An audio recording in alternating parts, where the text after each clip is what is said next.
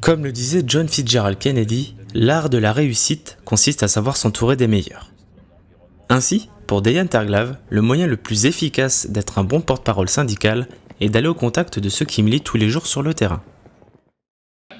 C'est donc à Lyon qu'a lieu le premier colloque d'une longue série organisée par la FGTA dans un nouveau concept de dialogue et de proximité avec les militants.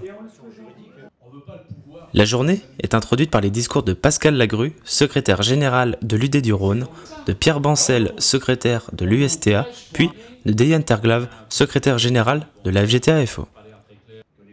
L'intérêt est de comprendre les problématiques de chacun, de saisir l'occasion de les remonter et de sensibiliser la fédération. Euh, ce genre de réunion, on le fait un peu partout, c'est la première cette année, mais après on enchaîne dans toutes les villes de France. Pourquoi? Parce que ma volonté, c'est d'aller vers vous. Mais la plupart d'entre vous, on ne peut pas se voir, puisque vous êtes en entreprise et que vous avez rarement l'occasion de me dire ce que vous pensez déjà de la Fédé, ou ce que, vous pensez de ce que je dis, ou de ce que vous souhaiterez qu'on fasse, parce que le but quand même, c'est qu'on fasse des choses qui vous soient utiles ou que vous appréciez. Si on fait le contraire de ce qui vous sert, ça ne sert strictement à rien.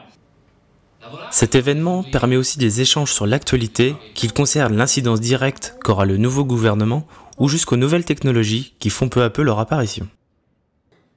L'intervention des experts apporte une réelle valeur ajoutée aux équipes sur le terrain avec la nécessité des missions légales de l'expert comptable pour défendre les intérêts des salariés, la santé des représentants du personnel et l'actualité en matière de protection sociale. Dans les mois qui viendront, du nord au sud, de l'est à l'ouest, la fédération est engagée à organiser d'autres journées enrichissantes de ce type pour soutenir, informer et sensibiliser ses militants.